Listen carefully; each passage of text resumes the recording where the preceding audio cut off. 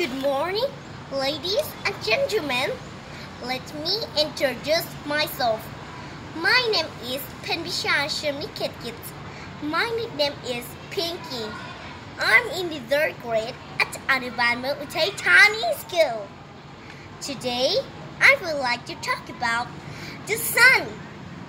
I'm front and center of it all. Big all burning bright gas ball. Planets spin around my girth. Saturn, Neptune, Venus, Earth. You couldn't live, you couldn't see. You need my solar energy. I'm the mother of all. Summer, winter, spring, third fall. Providing light for plants to grow. I'm the cause of rain and snow. My bright sunlight lights the way. Because of me, days, night, and day. I'm the sun, a burning star.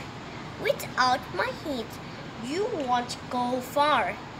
There can't be life without my shine.